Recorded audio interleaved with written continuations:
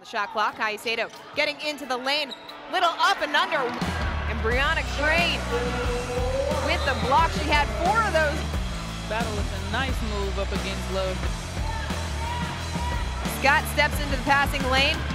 Chance got to it, taking it back inside and showing absolutely no fear. There's some space.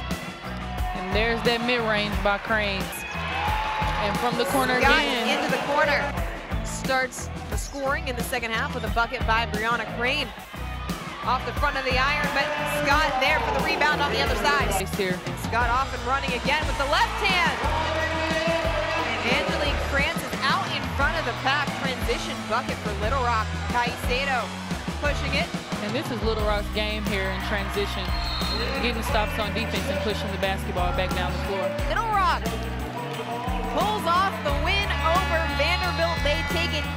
72 to 74 here inside the Jack Stephens Center.